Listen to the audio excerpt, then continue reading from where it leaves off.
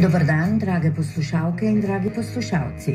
Naša država nujno potrebuje učinkovito prenovo helikopterske nujne medicinske pomoči z namenskim helikopterjem. Danes je s pomembno novico o nakupu dveh helikopterjev predsednik presenetil predsednik vlade Robert Golop, ki je ob vladnem obisku posavja predstavil odločitev o prihodnji organizaciji službe HNMP, ki bo na evropski ravni. Policija bo tako skupaj z Ministrstvom za zdravje oblikovala namenske enote, ki bodo primarno namenjene zgolj reševanju življenj, kar bo najbolj pomembno za vse prebivalce. Prevoze za te namene bo upravljala policija. Slovenska vojska, ki je do zdaj opravila večino prevozov povezanih s helikoptersko nujno medicinsko pomočjo, pa bo imela podporno vlogo, pri gorskem reševanju pa tudi bo sodelovala. Premijer Robert Golop je povedal, da je Slovenija dolžna nabaviti namenske helikopterje za nujno medicinsko pomoč, ker smo na tem področju zadnji v Evropi. Naša država bo zato namenila 50 milijonov evrov v treh letih. S to novico, ki pomeni prvi korak pri nadaljem nemotenem zagotavljanju helikopterske nujne medicinske pomoči, začenjamo studio ob 17. v katerem bomo osvetlili delo in organizacijske težave pri delu HNMP, tudi idejo o selitvi HNMP z brniškega letališča na letališče Olesce, kar predlagajo v gorsko reševalni službi Radovlica. Več pa v nadaljevanju studija ob 17. Gosta bosta Darko Čandar, sekretar v službi za NMP in izredne razmere na Ministrstvu za zdravje, in Miha Aubel, tudi pobudnik peticije eh, za ureditev sistema helikopterskega reševanja in nekdani tehnik v helikopterju. Lepo pozdravljena oba skupaj. Lepo zdrav. Dobar dan. Dobar dan. Eh, številnim temam bomo namenili čas malce pozneje. Najprej pa seveda o tej aktualni odločitvi eh, današnje eh, seje vlade, ki jo je predstavil v Krškem premijer Robert Golob. Darko Čandar, vi že vrsto let spremljate to problematiko. To je pomemben korak naprej. Ja, moramo se tukaj strinjati, da to dejansko pomeni eno prelomnico pa prelomnica moče iz tega razloga, da rečem, da je to prvič po 30 letih, odkar imamo samostojno državo, da je država začela, bom rekel, resne aktivnosti za nabavo namenskih helikopterjev za reševanje in pa seveda z jasnim načrtom spostavitve baz na območju države, ki bodo omogočile čim hitrejšo dostopnost in pa seveda tudi čim prej hitrejše transporte teh ponesrečencev volili v same bolnišnice. Tako da moram reči, da mi smo sklepa vlade, da ministri so zelo zadovoljni. Vse že kar, bom rekel, tudi določeno dobje opozarjamo na, bom rekel, določene pomankljivosti. Moramo pa vseeno povedati, da helikopterska nujna medicinska pomoč deluje v takem vsegu, ki ga, katero imamo danes, se pravi iz dveh letalskih baz. Vendar, neko se včasih soočamo tako mogoče z premalim številom plovil. Moram pa podariti, da pa kljub temu, reko posadke, tako slovenske vojske, ki izvaja to reševanje, reko danes, pa še reko po prejšnjem sklepu vlade, so izvedle mogoče za informacijo v lanskem letu kar 585 intervencij, od tega baza v Ljubljani 386 intervencij, baza v Mariboru 200 intervencij. Od tega je tudi HNMP ekipa naredila, tako imenovana združena ekipa za gorsko reševanje, tudi 87 intervencij v gora. Tako da moram reči, da nihče ne more reči, da helikopterska nujna medicinska pomoč ne deluje, je pa res, da deluje z neko določenim obsegom, ki bi ga si radi seveda razširili. No, predvsem eh, na terenu opozarjajo na organizacijske težave, o teh bomo govorili malce pozneje. Eh, znano je, da je večino prevozov za helikoptersko nujno medicinsko pomoč do zdaj opravljala vojska. Včasih se je zgodilo, da je bil vojaški helikopter eh, na drugi dožnosti, pa so morali na terenu počakati za posredovanje, pa je šlo tudi za nujno stanje.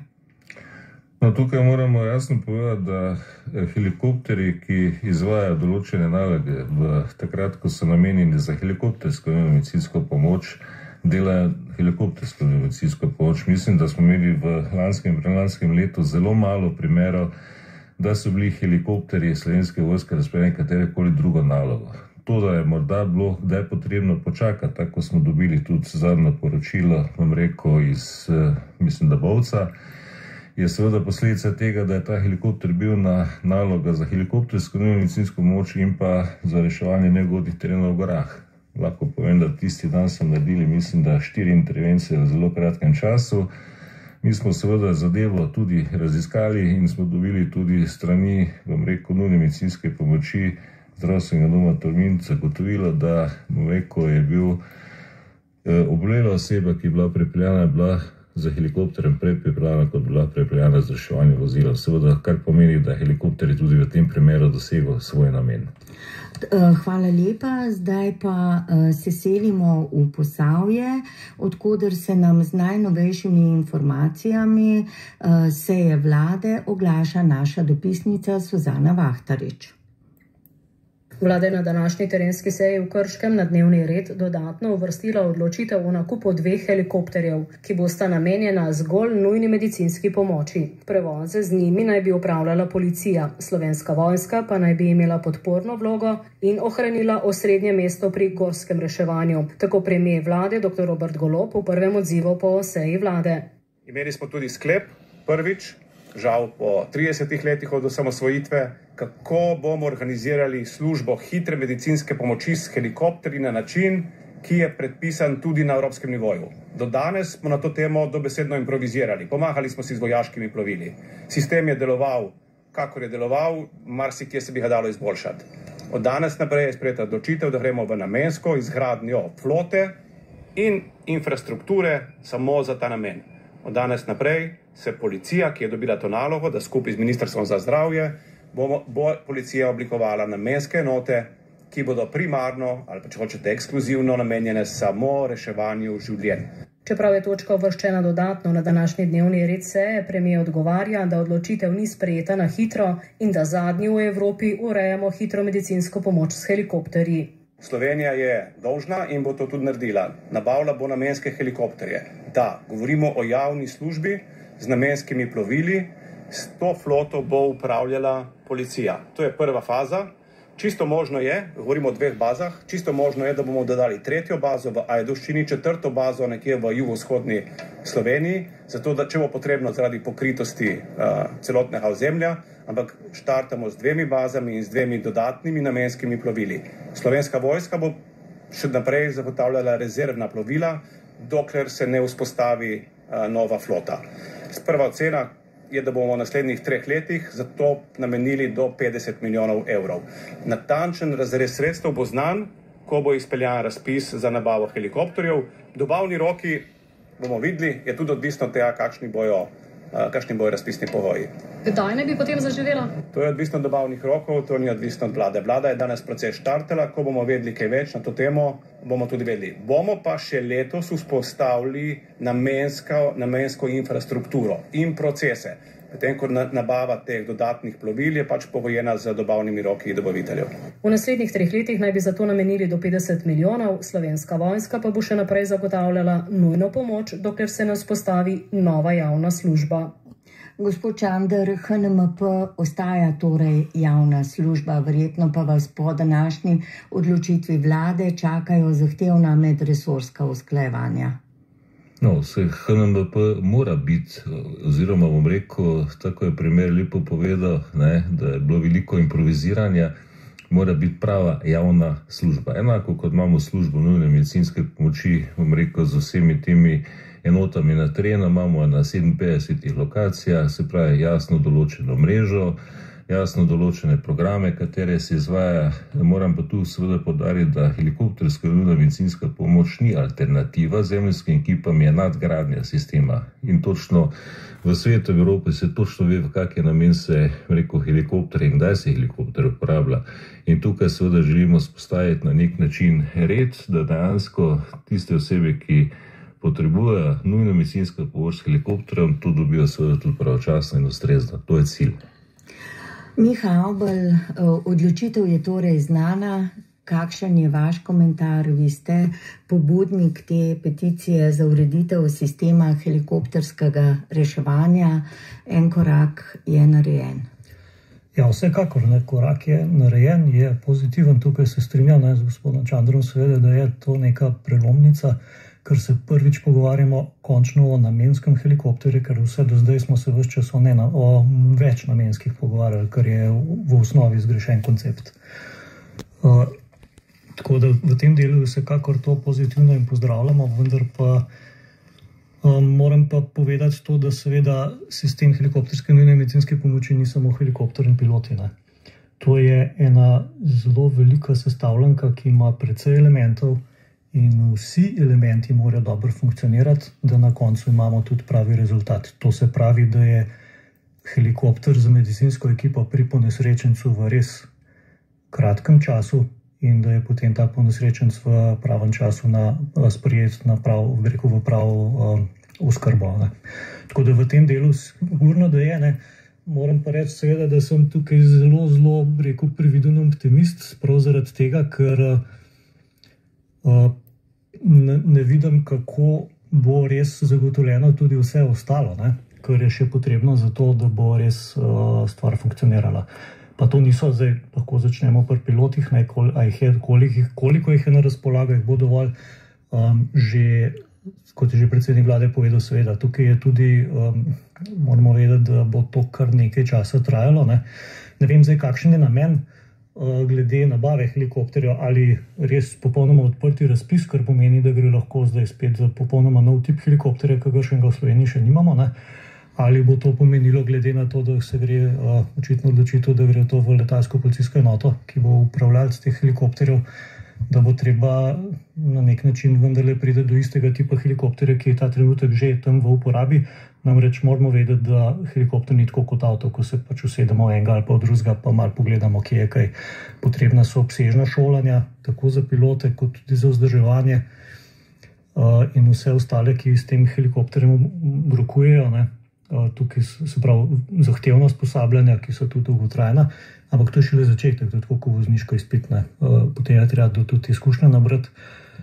Tako da dve leti, bom rekel, po mojih izkušnjah, glede na to, da delam več kot 30 let v letalstvu, ne, je, je kar zahteven cilj, to je kar velik izziv. Ne, in jaz močno upam, da bo predsednik vlade držal besedo tukaj in da se bo tudi kasneje uh, zauzel in da se bojo vse ostale stvari, ki se morajo tukaj zgoditi. Eh, zato da bo to uspešno tudi res zgodilo. Uh, ker, tako kot je povedal, ne, žal, to, kar se, se gremo mi uh, zdaj, ne, je že vse čas v bistvu na nivoju ene dobre improvizacije. Ne, žal, moram biti kritičen, ampak tako pa če. Bil sem sam v tem sistemu, bil sem v posadki približno 15 let, tako da sem videl to od blizu. In seveda samo upam, lahko, da bo zdaj to res drugače, ne, ker kupiti helikopter je mogoče se čudno sliši, ampak lahko je rekel, relativno enostavna stvar. Ne? Če je enkrat sklep, če je enkrat politična volja za to vzpostaviti, pa vse ostalo, zato da bo to tudi res dobro funkcioniralo, ne? je pa uh, kar zahtevno. Ne? Tukaj je treba torej vse stvari, ki morajo še zadaj biti, pa niso tako očitne. Ponovadi vidimo pač res ti helikopter, pa pilote, pa ekipe, ki so notrne, ampak zadaj je pa še veliko drugega, kar ni očitno, pa mora ravno tako dobro funkcionirati. Zdravniki in eh, ekipe opozarjajo tudi na nujnost namenske opreme, ki je ne bodo več prenašali iz enega helikopterja v drugega, izgubljali čas pri prehajanju. Eh, da nimo takšen primer je na mednarodnem letališču na Brniku, ko so eh, prostori bodi si za HNMP ali za gorsko reševanje drugje kot je potem letalo, ki vzleti in že tam izgubljajo dragocen čas, ki je pomemben uh, pri sami aktivaciji, gospod Čandar. No, vse tukaj mogoče že predsednik vlade vodoma povedal, da se bo predvsem že v letošnjem letu uredila tudi infrastruktura v letalski bazi, kar pomeni, da bo ekipe, bom rekel, sobivali skupaj, bodo bliže, bom rekel, helikopterjem, kar pomeni seveda tudi hitrejši reakcijski čas oziroma vzletni čas, kar je rekel, predvsem pomembno, ker to je tisto, kar želimo zboljšati, kar želimo spraviti v rekel, nek standard, ki je tako v pravilniku pogojih izvajanja helikopterske in medicinske pomoči nekje do 5 minut.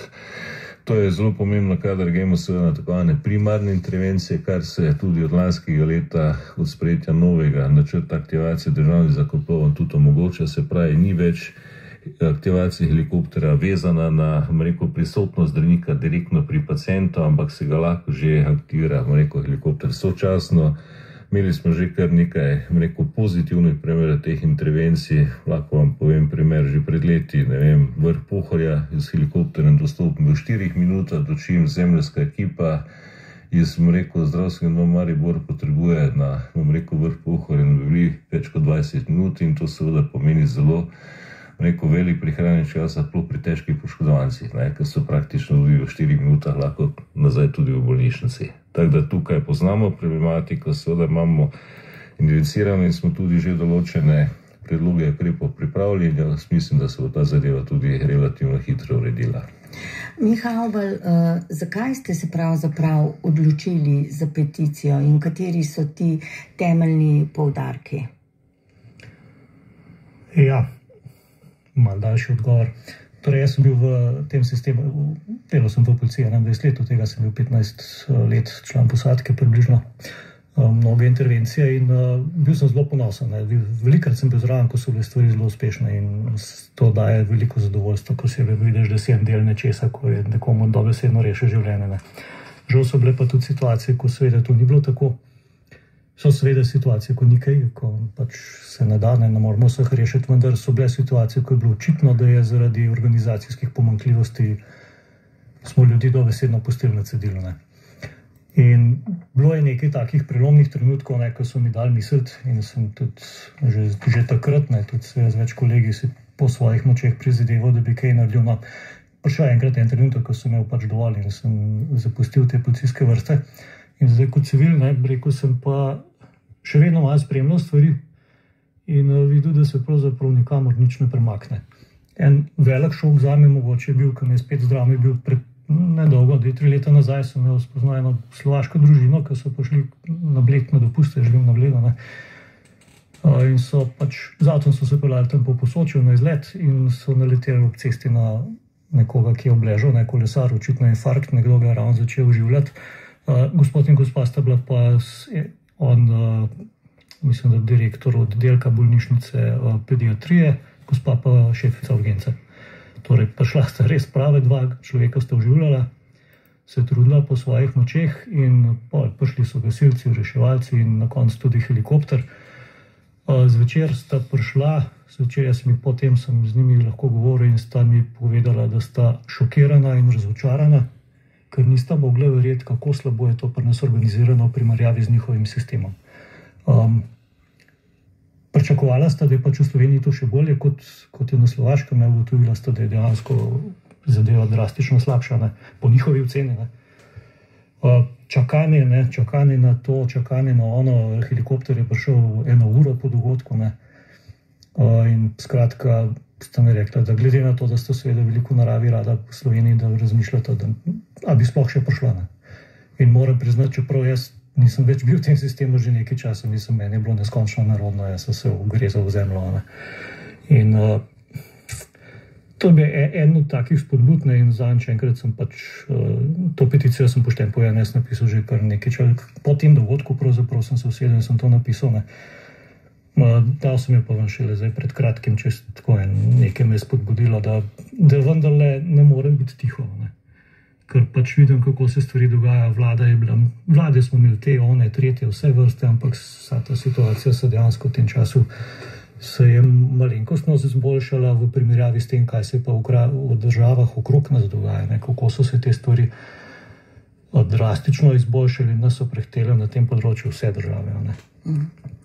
No, upamo, da ne bomo, tako kot je rekel premijer, ostali na zadnjem mestu, ampak da bomo pridobili kakšno mesto v teh prizadevanjih za čim hitrejšo pomoč uh, ljudem, ki jo rabijo. Uh, zdaj pa imam pripravljen še en pogovor uh, in sicer z Luko Camlekom, ki je predsednik komisije za medicino pri GRZS, vključen tudi v enoto helikopterske nujne medicinske pomoči, kot intenzivist pa sodeluje pri prevozih kritično bolnih otrok in novorojenčkov in prisluhnimo pogovoru, najprej pa komentar na novico o nakupu dveh namenskih helikopterjev.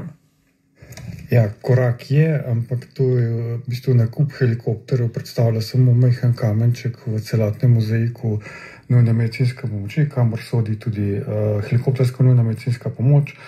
Namreč uh, kupiti uh, prevozno sredstvo je um, samo en korak, treba je predvsem postaviti sistem helikopterske nujne medicinske pomoči. Uh, vzpostaviti baze, izšolati osebje in pa celoten sistem upeti v sistem nujne medicinske pomoči, kar pa trenutno, kjer sta obe ekipi locirani na mednarodnih letališčih, neoptimalnimi razmerami dela, smo še žal še daleč od tega. Verjetno bo potrebno tudi prehodno obdobje, napovedujejo, da naj bi te helikopterje dobili 2026, do takrat pa bo ostalo tako, kot je.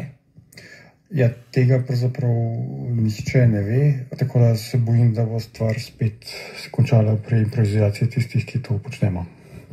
Vi ste dejavni tako v združeni ekipi, pa če eh, GRS in HNMP v času od 1.6. do 30.9., sicer pa v helikopterski nujni medicinski pomoči, s kakšnimi težavami se srečujete v času dežurstva?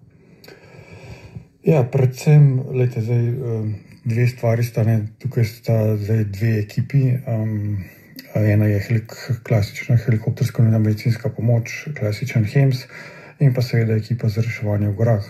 Um, zaradi nedostopnosti helikopterskega reševanja, oziroma predolgih odzivnih časov, uh, so že od leta 2017 vzpostavila združena ekipa, kjer so reševali letalec vklapla v delo. Uh,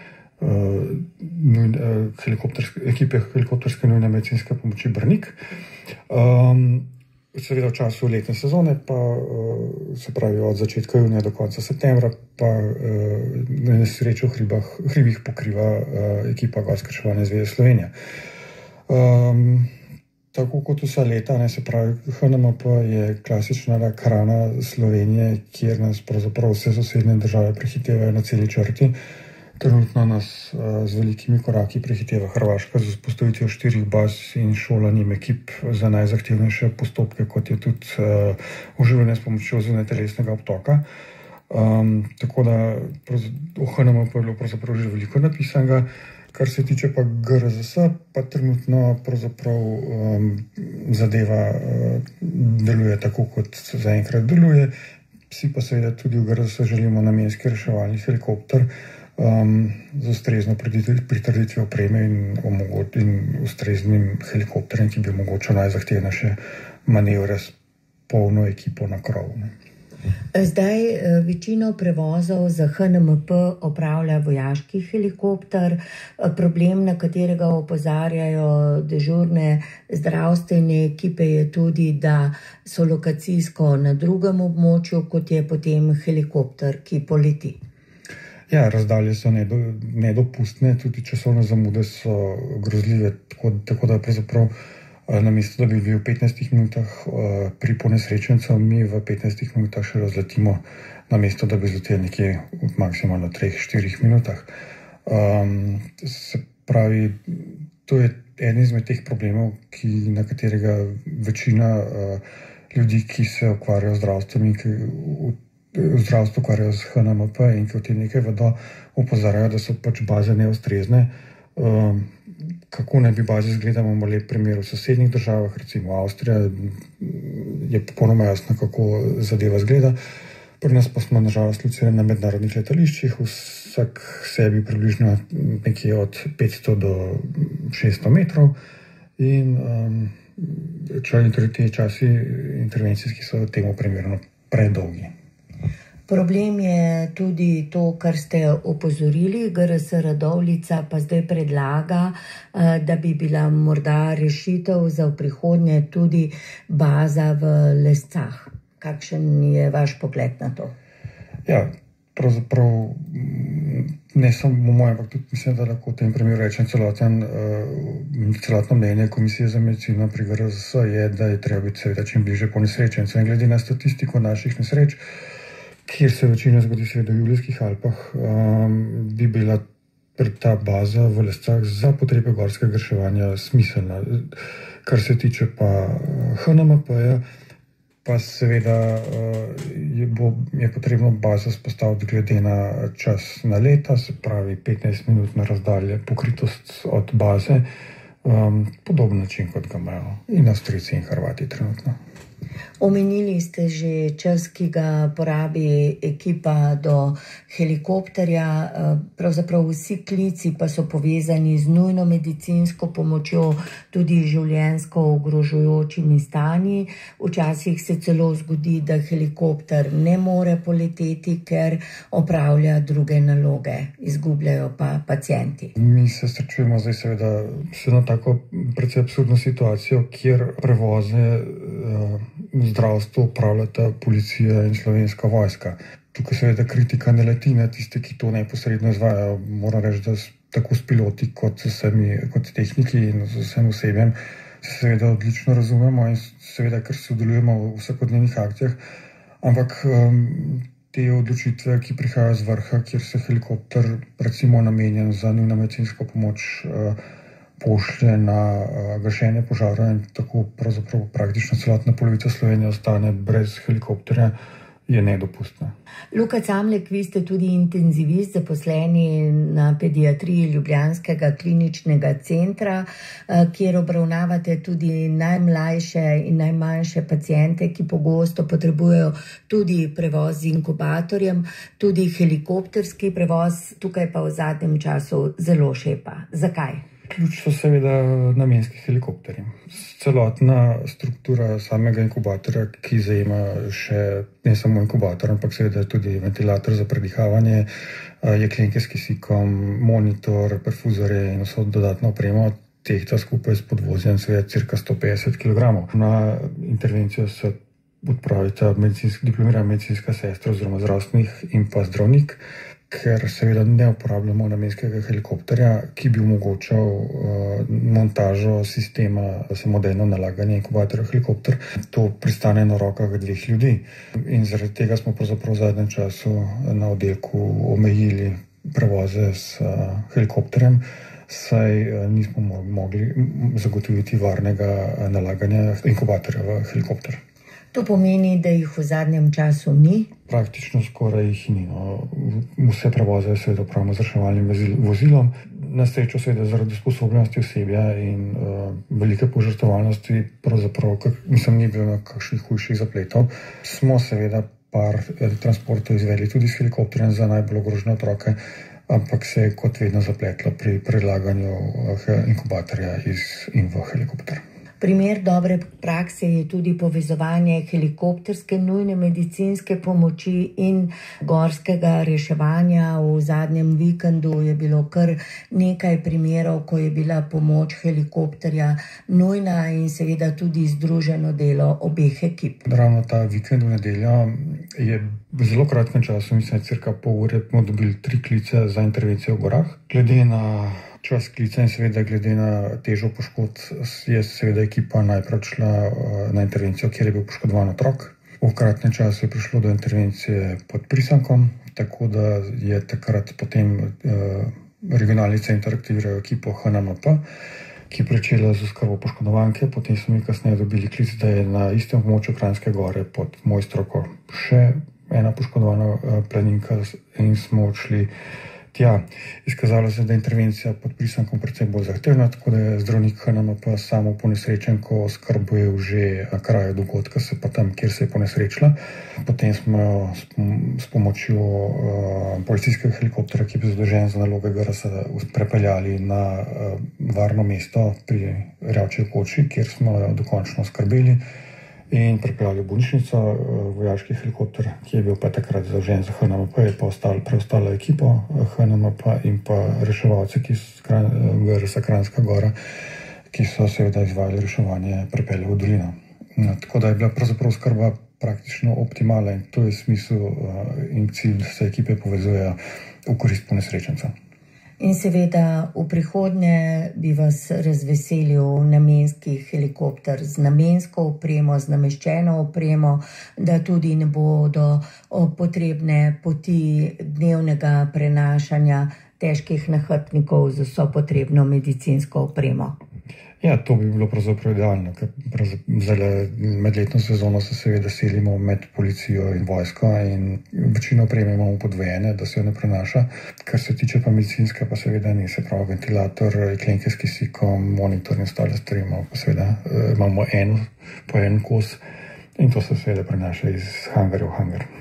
In verjetno je tudi medicinska oprema izpostavljena, morda se prevečkrat pokvari. Moram potrkati, da zaenkrat kakšnih okvar zaradi tega nismo imeli, ker vsi z njim ravnajo zelo skrbno. Problem pa je, ker seveda se na ta način pa zgublja kontrola nad samo opremo in pravzaprav ne vemo, da je funkcionalna, nijo so baterije prazne, niso in tako naprej. Tako da bi bilo fino, da je ta stvar na enem mestu in pod kontrolo. Helikoptersko reševanje je ekipno reševanje, sestavljeno tako iz zdravnika, tehnika, tudi posadke, bodi si policijskega, bodi si vojaškega helikopterja. Vendar, ko se akcija konča, greste vsak na svoje območje, včasih ste priča zelo težkim situacijam, tudi izgubljenim življenjem. Kako pomembno bi bilo to skupno delo tudi za morebitno psihično razbremenitev? Skupni prostori in sodelovanje mislim, da veliko pripomogla tudi k razbremenitvi celotne ekipe. Namreč prvi razbremenilni pogovor se naredi praktično takoj po intervenciji. V ekipi sodelujemo ljudje z zelo različno izpostavljenostjo kritičnih dogodkov in hodov poškodovanim in bolnim ljudem. In za marsikoga, ki ni dnevno izpostavljen takim situacijam, take intervencije pre, prinašajo hudo psihično breme. In rezultat tega, da ta sistem ne funkcionira, veliko krat vidimo na državnih omrežjih, kjer so v precej podrobnih detaljih objavljajo stvari o samih nesrečah, ki se mi ne zdijo skladne in etične. Uh, in um, mislim, da bi bilo to pravzaprav zelo pomembno vzpostaviti. Uh, čeprav trenutno seveda moramo reči, da stvar popolnoma uh, visela v zraku, imamo sistem zaupnikov, kjer pravzaprav upa, up, že s samimi ljudmi na kraju nezgode oziroma kasneje uh, posameznih društvih, recimo pri GRS, upravijo razbremenilne pogovore, kasneje se lahko vključijo tudi uh, psihologi, ki so zaposleni preko prave za zaščito in reševanje. Tako da za te stvari je poskrbljeno, ampak prvi korak je narejen takoj po intervenciji in če bi bil ta ustrezen, mislim, da kasnejših bi bilo veliko, veliko manj takih zelo težkih um, situacij in stanj za ljudi, ki se s tem teže spopadajo. Luka Camlek uh, je v pogovoru izpostavil kar nekaj istočnic. Uh, Miha Aubel uh, omenil je uh, dobre izkušnje na Hrvaškem, uh, kako so helikopterske baze nujne medicinske pomoči postavljene in organizirane v sosednjih državah. Uh, vi imate kar dober pogled v to, nekatere uh, države in kraje ste tudi obiskali.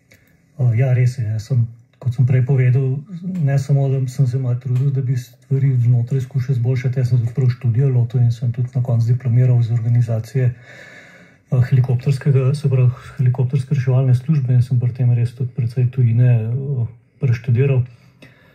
Zdaj moramo vedeti, da v Evropski uniji ni enega enotnega modela, pa enotnega sistema, ne, da, bi, da bi to vzpostavilo. To, to je nastajalo na zelo različne načine. Ne. Uh, marsikje so bile to čist pobude zasebnih ljudi, ne, ki so, recimo, da izpostavim, ne, služba DRF, ki danes upravlja čez 50 helikopterjev ne, za nujno medicinsko pomoč, to ustanovila starša enega, enega, enega mladega fanta, devet let starega, ki ga je na poti domov zbil avto in je po eno uro po nesreči skrajal. Ampak to se je zgodilo leta 69. Ne. In sta pač sprašvala, sprašvala, zahtevala odgovore, in eh, rezultat njihovih prizadevanj na koncu je bila vzpostavitev prve, take, ene prvih helikopterskih reševalnih baz v Nemčiji, v, v Študgartu. Uh, recimo, to je en način, da je znana tudi zelo švicarska rega, ne? Uh, tudi neprofitna organizacija, ki deluje že od leta 1952. Ne? Tudi to je po bistvu bila pobuda švicarska gorska reševalna služba. Um, imamo pa tudi modele, kjer so pa države, državne inštitucije, se pravi Ministrstvo za zdravje, čist sistematično vzpostavlja tako službo. Ne, recimo, to je bila Poljska, ne imela že davno nazaj, ne, po mojih podatkih, celo že pred Nemčijo, e, prvi helikopter za reševanje v redni uporabi, ne, se pravi, tam malo pred letom 70. E, in je bilo to res ponekod sistematično narejeno, ponekod je bilo to tako organsko raslo ne, iz, iz takih pobud ljudi, ki so čisti iz človekoljubnih uh, namenov, oziroma bom kar rekel, ne, kar iz čisto osebnih tragičnih izkušenj. Ne, uh, so zakopali v to smer. Ne. To je ta primer, recimo DRF, ne. tudi avstrijski OMTC je pravzaprav zagnal en doktor Flora, ne, ki je tudi doživel eno tragično osebno izkušnjo in se je problema lotil, ne, ker je videl, da obstoječi sistem ni v redu. Ne. Sistem je, uh, zdaj te baze so večinoma postavljene tako tam, ker je to, kot to, reko, sistematično, ne, da se nekje skuša doseči dostopni čas, se pravi, da bi od trenutka dogodka, se pravi, ko pride klic v sistem, klic na pomoč, ne, do prihoda na kraj, idealno je to, mislim, kolikor sem jaz gledal, se to trudijo vzpostaviti nekje 15-20 minut. Ne. Ni to posod tako, ne. Nemčija recimo ima zelo gosto bazo mrežo teh helikopterjev, ne, Poljska recimo manj, ne. Um, Švica je ekstremno gosto, ne, seveda, ker je pač zelo gorata država in tam po avtom res ne prideš nikamor, ne. Uh, Um, Hrvaška, ne, ko ste vprašali, ja, Hrvaška je zelo podobna situacija kot Slovenija, dolgo časa, ne, konc koncev se vidi, da je bil podoben način razmišljanja vse čas. Um, so pa zdaj zadevo presekali na način, da so se odločili ne tako kot pri nas, zdaj, ampak da najamejo za prevozniški del. Ne. Torej, ne izvajanje medicinske pomoči, sami seveda je v rokah um, preko nujne službe medicinske pomoči, ampak prevozniški del, se pravi helikopter, zdravljen pilot, uh, so najeli. Eh, pogodba je, mislim, da za sedem let. Eh, in v tem času, pa kolikor spremljam, ne, je pa namen, da bi pa država pa zadnji pa vzpostavila eno, rekel, svoj, svoj sistem, ne, tako da bomo videli, če bo to. Jaz ne pričakujem, da se bo to obdržalo. Jaz to razumem kot eno prehodno obdobje, ne, po katerem bo pa eh, ne bi država pač vzpostavila neko svojo službo. Zdaj, kaj se bo resnici zgodilo, bomo videli. Ne. Eh, so pa postavili štiri baze, ne se pravi eh, reka Split, oziroma trenutno še Brač, eh, pa Zagreb in Osijek. Moram reči, da tukaj recimo, sem tudi malo kritičen, ker niso te lokacije niso najboljše izbrane, ne, ker so uh, sploh Osijek ne, na letališču. Sicer tam ni problem, to, da je to mednarodno letališče, ker tam ni neki prometa, ne. ampak lokacijsko ni najboljše. So pa naredili en velik korak naprej, ne, ker v primerjavi s tem, kar so imeli prej, dejansko so uh, imajo zdaj res namensko službo, s tem, da je treba povedati, da bojo imeli še pravzaprav pet baz, ne kar peta baza, koliko remo ostane v Dubrovniku in jo bo izvajala še naprej policija, tako kot do zdaj. Vsaj, kolikor sem slišal. No.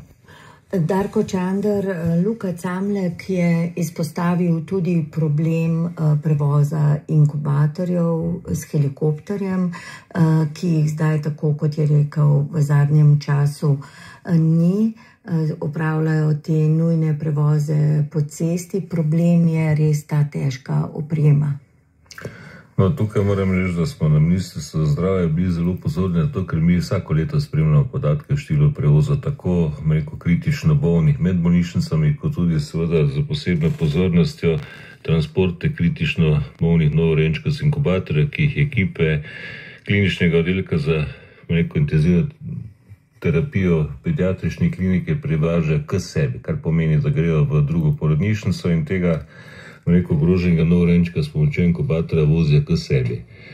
Tukaj moram seveda povedati, da že leta 2018 je Ministrstvo za zdravje kliničnemu centru Ljubljana v ta namen rekel, zagotovilo sredstva za projekt, ker so si kupili dve namenski reševalni vozili ravno za prevoz teh inkubatorjev.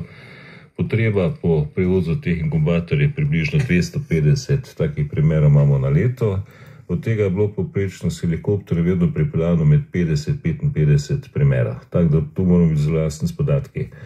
E, zaplet pa se je pa predvsem tem, ker tukaj moram reči, da leta 2018, ko je potekal ta projekt, je dejansko stroka izbirala način in tudi tehniko, s katero bo to prevažala, katere se je očitno sploh v zadnjem času pokazala za očitno neustrezno in tu moram biti zelo iskren, ni samo krivda za helikoptere, ker dejansko gre tu za tehnični problem. In mi smo ta zadevo identificirali in to tudi, rekel, že v navezavi z službo za prevoze teh otrok s močjo inkubator tudi rešujemo. E, druga stvar pa je, kaj je pa dr. Camlik omenil, je pa seveda tista povezanost ekip. Moram reči, da deluje tudi baza v Mariboru. Baza v Mariboru sicer je tudi zelo neugodno dalje stran od hangarja, od helikoptera, kar podobno kot je bilo prej povedano, povzroča dolgi čas prihoda do helikoptera, kar želimo seveda v najkrajšem času urediti. Zadevo zelo dobro poznamo. Je pa prednost rekel, tega sobivanja ekip tisto ravno, kar je bilo povedano. Prvi razbremenili pogovor, seveda ljudje smo rekel, različno dojemljivi, potrebujemo rekel, v takih težkih situacijah na koncu konca tudi rekel, nek pogovor, da se te zadeve lažje kasneje tudi predelajo.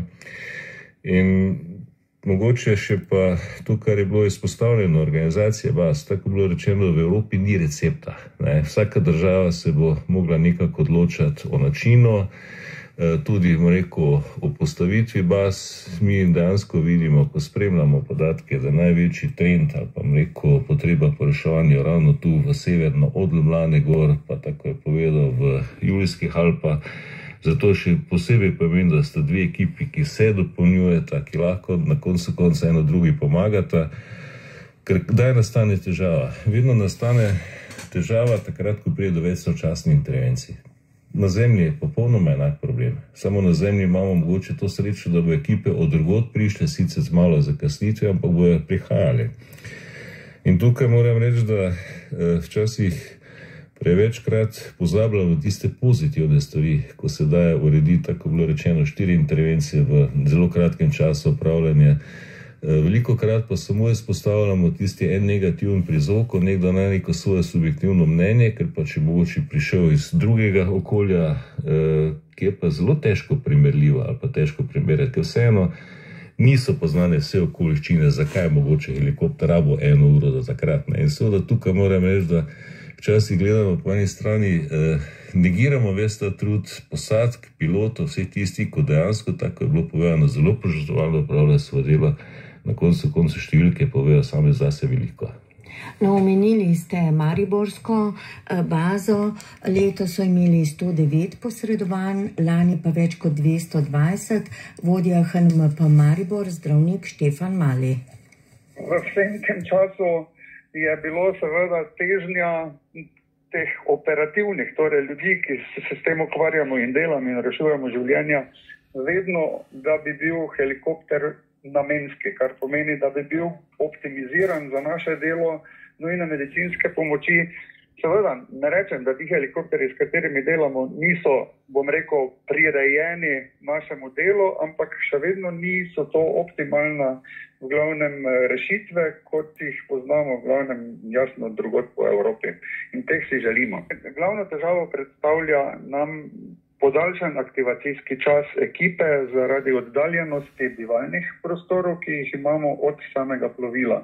Največ oddaljeni smo od helikopterja cirka 400 metrov in to prepešačimo ali pa se odpeljemo v glavnem z skupnim vozilom z eh, pilotskim delom eh, ekipe. Eh, in to nam zame cirka 5 minut aktivacije. 5 minut v urgenci pa veliko pomeni. Ja, v Mariboru imamo praktično opremo v samem helikopterju, tako da s tem se ne izgublja čas. Šlo je v letih prej, smo imeli nekoliko več, v glavnem, sekundarnih prevozov, kjer smo morali opremo pač potem iznašati, ampak to se je na našem področju nekako uredilo. Teh intervencij sekundarnih prevozov je manj, tako da je helikopter res večini časa namenjen helikopterski nujni medicinski pomoči sami operativni delavci, ki delamo, v glavnem si želimo optimizacije dela, ki zdaj trenutno vseh teh praktično 20 let, koliko še nam to obstaja, jo bom rekel, kakorkoli artikuliramo, v glavnem po tem višjem nivojem, ampak nekako nismo bili uslišani. Glavnem upam, da bomo v bližnji prihodnosti. Optimizacija bo en velik izziv tudi za naslednja uh, usklajevanja. Gospod uh, Darko Čandr, ste prikimali? Ja, vse moram reči, da se popolnoma strinjam z dr. Maljem. Uh, mi smo ravno imeli prejšnji teden na to temo sestanek z vsemi akterji, tako z rekel, predstavniki baze HNMP Maribor, Brnik, gorskim reševalci z vodjo transportov kritično bolnih odrasli in pa rekel, z vodjo oddelka za prevoze kritično bolnih otrok. In dejansko naš cilj je bil, da se dejansko smo si zadali cilj, da se poenoti vsa oprema, da vsa oprema, ki jo potrebuje, katera od teh rekel, različnih dejavnosti bo imela svoje mesto v helikopterju brez nepotrebnega prenašanja z ustreznimi pritrditvami. In moram reči, da cilj je seveda unificirati, ker to je pa tisto, kar smo pa prej rekli, da je prelomnica, ne, namenski helikopter. Ne. Taki namenski helikopteri seveda omogočajo prilagoditi svoje interjerje, da dejansko je rekel, tudi ta oprema in ta tehnični del optimalno, seveda tudi sosedove. Je pa res, da moramo pa tudi kot zdravstvo, ne, ker imamo dve helikopterske enoti, poenotiti opremo, poenoti se na nek način, bomo rekel, unificirati delo. Tukaj mogoče bi še samo dal pripombo glede samih prostorov in vsega skupaj, ne spobrnika, ko je bilo izpostavljeno. Ne. E, dejansko ministrstvo zdrave ima tukaj, bom rekel, financira tako posadko HNMP Brnik, kot tudi delovanje zdravnika gorske reševalne službe in tudi reševalca letalca. E, to ima, bom rekel, osnovno zdravstvo Gorenske, ki ta program seveda izvaja, tudi z gorsko reševalno ima posebno pogodbo. In tukaj predvsem mogoče pogrešamo preteklosti malo večje sodelovanje izvajalcev, tisti, ki imajo program, pa tistega, ki, bom rekel, izvaja te prevoze. Ne, ni vedno, bom rekel, samo tisto na vrh, kot je bilo rečeno, potrebno, ampak seveda določena proaktivnost mora obstajati tudi pri samih izvajalcih. No, če gremo zdaj od uh, namenskih helikopterjev uh, v bazo, Eh, in sicer na Brnik, na mednarodno letališče. GRS Radovlica je Miha Aubel predlagala uh, perspektivno selitev uh, na letališče v Lesce, katere bi bile prednosti, kateri argumenti so tisti, ki govorijo o prid prihodnji selitvi morda. Ja, seveda. Če primerjamo obstoječo bazo na Brniku z, recimo, če bi šli pogledat bazo nekam, ne vem, v Avstrijo, Nemčijo, kamorkoli nekje, ko je to res razvito, ne, to, kot je zdaj, je res, vse je bilo že povedano, pač neprimerno. Ne. Posadka in to celotno, ne, se pravi, tako piloti kot medicinski oziroma reševalni del, mora seveda biti skupaj, biti morajo nekaj korakov stran od helikopterja, tako da lahko dosežejo kratek čas, morajo imeti pri roki vse, kar potrebujejo za svoje delo. Brnik, torej, to je najprej sama oblika, čist sama zgradba, sama infrastruktura. Ne, če tega zdaj nimamo niti na Brniku, niti v Mariboru. Um, Maribor mogoče ker tam so, če se ne motim, so skupaj, ne, uh, sedijo, ampak pa se morajo pa z avtom pelati do helikopterja. Uh, torej, to je eno, ne, drugo je uh, mednarodno letališče. Ne, tega se vse te helikopterske reševalne službe izogibajo. Ne ker so tam problemi, z, ker je letalski promet, kontrola letenja. Kljub temu, da v teoriji ta helikopter ima prednost, ne v praksi to pa ni čisto tako. Um, drago je, ne? ponovadi so tudi to relativno drage lokacije. Uh, Brnik ne še ima, še ima še dodatne probleme, pa megla. Ker v, na Brniku je veliko krat, uh, sploh v jesenskem, zimskem delu, je pač megla, helikopteri za vzlet in za pristanek in za letenje, pilot mora videti teren mora biti neka minimalna vidljivost.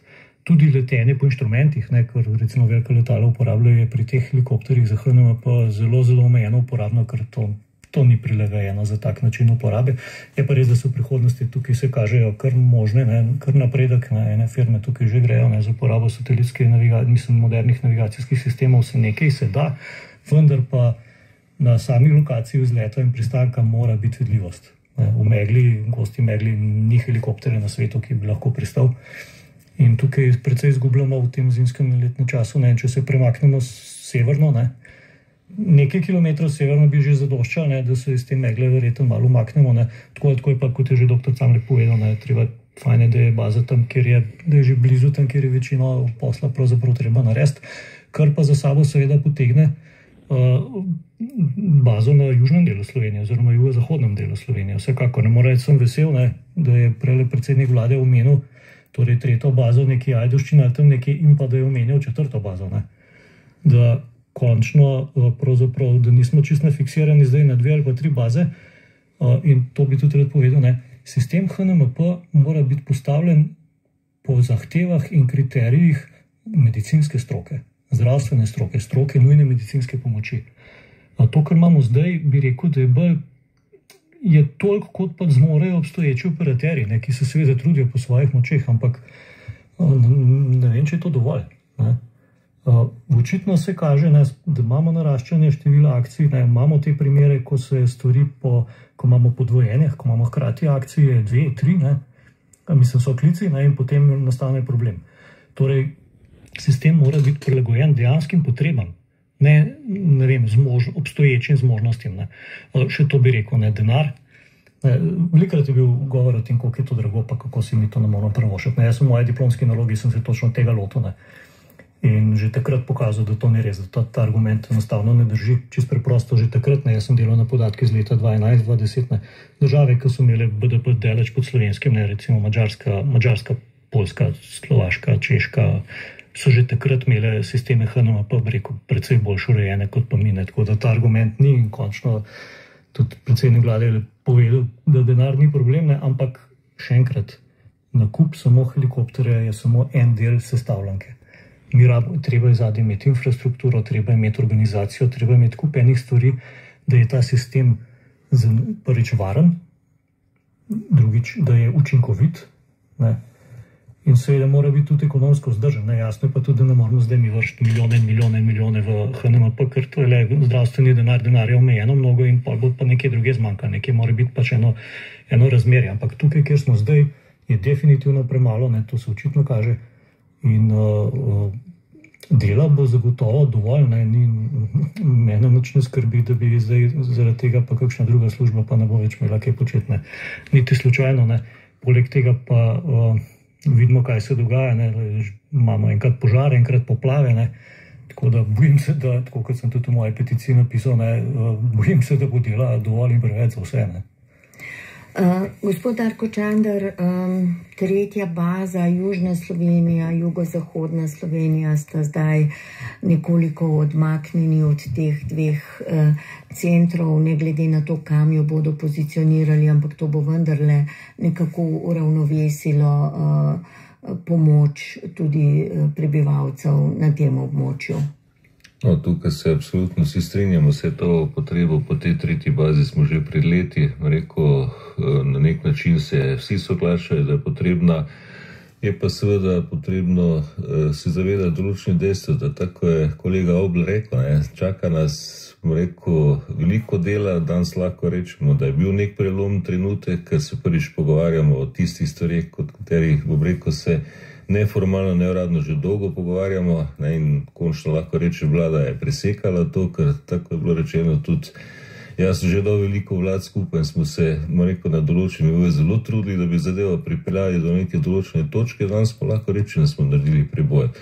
Tretja baza, sigurno, je strokovno utemeljena in potrebna. Dejstvo je, da v tistem delu, bom rekel, tudi imamo uh, prebivalstvo, če pogledate tam Ilirsko bistrico, dostope do urgentnih centrov, mi to mrežo imamo zelo jasno razčiščeno. To je rekel, en del rekel, Slovenije, ki je relativno slabo pokrit, pa tudi relativno ima dolge dostopne čase. Ne? Če pogledate do Ljubljana, kar nekaj vožnje, ali pa če hočete, rekel, postojne do Izole tudi sploh v poletnih mesecih, mislim, da helikopter tam ima veliko dodano vrednost. Je pa seveda se treba zavedati neke realnosti in se treba zavedati, da najprej moramo iti po določenih korakih, urediti tisto, kar je bilo rečeno, infrastrukturo, predvsem tisto, kar je možno narediti brez velikih stroškov, z rekel, neko dobro mero sodelovanja tudi med resori in z izvajalci. In tukaj jaz mislim, če bomo vsak svoj del domače naloge upravljali, lahko zelo hitro prijemo do dobrih rezultatov. Začetki torej so, prvi nastavki tudi, to je razlog za optimizem. Spoštovana gosta Darko Čandr z Ministrstva za zdravje in Miha Aubel, zahvaljujem se vama za sodelovanje v oddaji. Za to je skrbel Peter Lebar, oddajo pa sem pripravila Aljana Jocef. thank you